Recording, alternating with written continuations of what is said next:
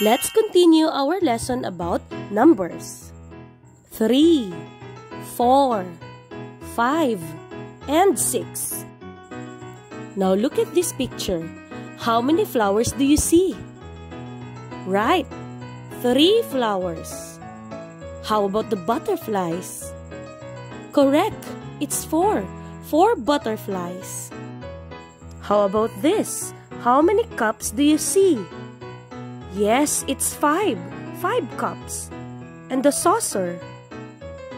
Right, six saucers. Now let's move on counting sets with three, four, five, and 6.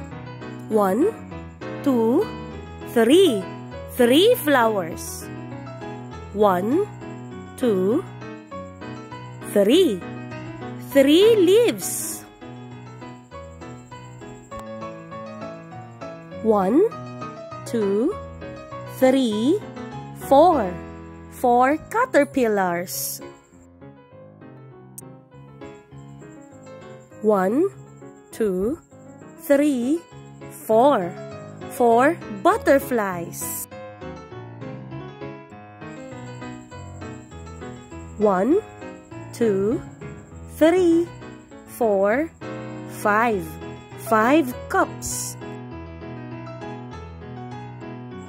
One, two, three, four, five. Five spoons. One, two, three, four, five, six. Six saucers. One, two, three, four, five, six. Six cupcakes. Mmm, yummy. How to write numbers 3, 4, 5, and 6. Number 3. Just make a curve line going to the red line and another curve line going down. Number 4. Slant line, left to right, and straight line going down. For number 5, down, curve line, and left to right. And number 6, just make a curve line going down and a small circle. Now I have a short challenge for you. How many ice creams do you see? Nice! Five. How many starfish do you see?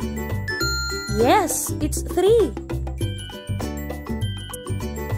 How many flowers do you see? Yes, you're right again. It's six. And how many airplanes do you see? Correct. It's four. Thanks for watching. Please don't forget to like, hit subscribe, and don't forget the notification bell. Bye!